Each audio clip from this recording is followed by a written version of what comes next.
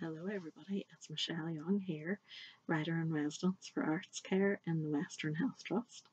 I'm getting in touch with my third instalment of my Upside Down story, um, uh, Emma story. If you remember, she her dinner was ready and she was in the garden playing when she found a key. For example, this little key here. And I asked you to design a key, so it could have been a flying key or something like that. Anyway, in the second story, she then, or yeah, in the second part, she went down a hole and she had help by a gnarly tree. A gnarly tree and its roots took her and threw her down a hole, and she ended up in an upside down world, which was completely different. Her feet were in the clouds, and her red curly hair was standing on end because she was upside down. And I ended the last story with this letter here.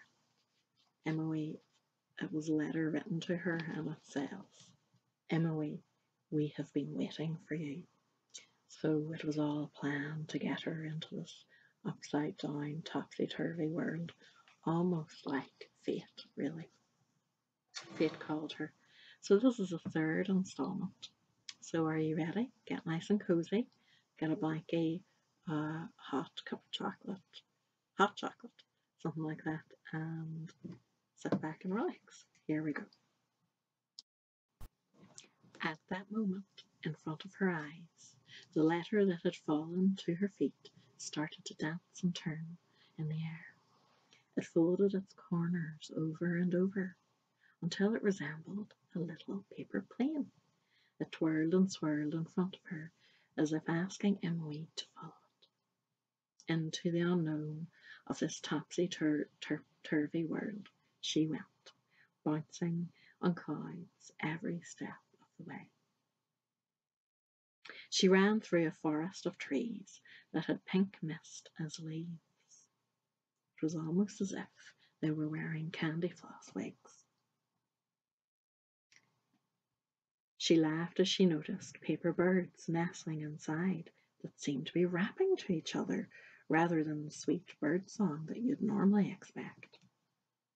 Flowers at the base of the trees, every colour of the rainbow, were body popping to the tune of the birds.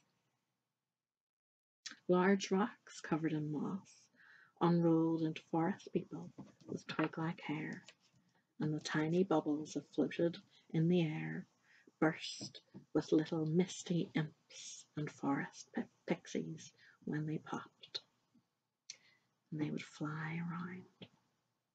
Suddenly, yo, yo, yo, hey girl, come over here, take a twirl. I'm Pops, the king of upside down. It's easy to tell by my bubble encrusted crown. He told her that him and his people needed to learn how to write.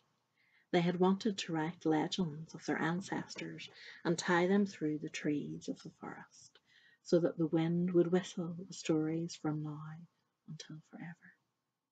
So without time to lose, Emily got to work, teaching the the mist pixies, the mist imps, the forest pixies, and the little rock people and the king himself how to write. So that is the end of the third installment. I'll be in touch next week with the final installment and now it's over to you. So I have got a few activities that you could choose to do. First, you might choose to draw this upside down world. So take a listen to the recording again and draw what you imagine it looks like. And if you want, you can add things in because I always love to get your ideas. Next, if you're feeling brave and you want a challenge, and you really, really like writing, you could write one of these legends. So what do you think is a legend or the legend surrounding this world? How did it how was it made? Was it made before time itself? How did the how did the mist imps get there? How did the forest pixies get there? And what about the little rock people? How did they get there? And how are they all connected? Why do the trees have pink mist on top as leaves? rather than leaves itself. And a bit of a mystery, but why do you think the flowers body pop to the birds that rap? Why indeed do these creatures seem to rap? Because the king was rapping, wasn't he? He was rapping and rhyming. So there you go. Loads of things to think about. So I'm going to pass that over to you now. And if you want to create this week, please feel free. I look forward to seeing all of your ideas and your creations, and I'll be in touch next week with a final installment.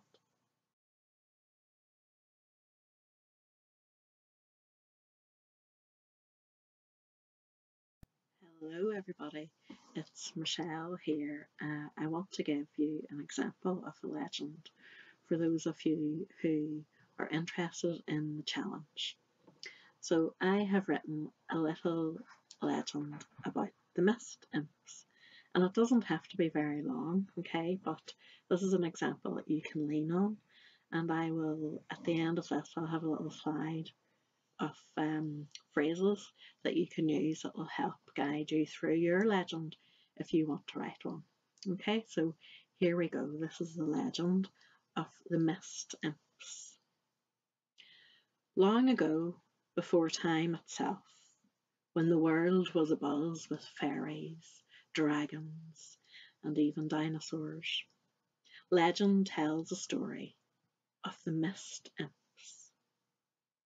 They were the keepers of the mist, the shroud of dew by the river lands in the morning, and the veil between their world and the underworld at night. But legend has it that during the Ice Age, when the ice giants ruled the world, the mist imps fled. They fled because ice was not good for a mist imp. It would freeze them as they put out the mist. The mist would freeze, and then the, the mist imp would be no more. So one by one, the mist imps fled to, to the tree of wisdom.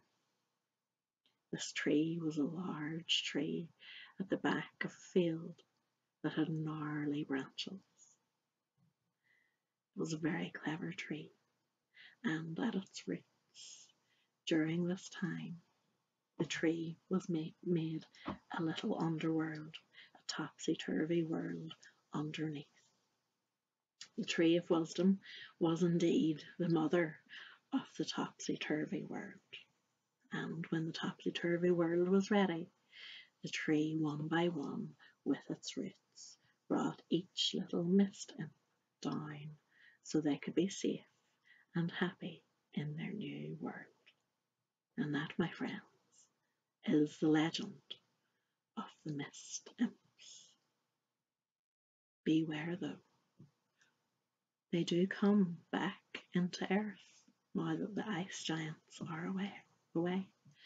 So, if you ever see mist on the fields early in the morning, you can be sure that the mist imps have been out doing their mischief and magic.